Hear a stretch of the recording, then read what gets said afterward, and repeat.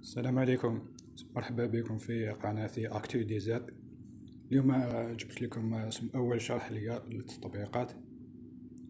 اسم تطبيق ترجمة تاع جوجل الرسمي. ها هو. التطبيق اسمه يعمل بالإنترنت فقط. يعني تستعمله لو كنت طالب أو مسافر لأي بلد ولا تعرف تلك اللغة يمكنك الترجمة هنا. تختار اللغة مثلا العربية تترجم إلى إنجليزية. مثال نكتب هكا صباح الخير.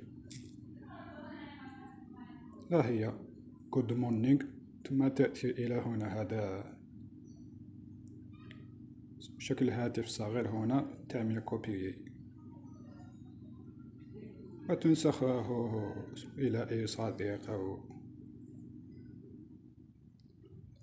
كان هذا هو الفيديو.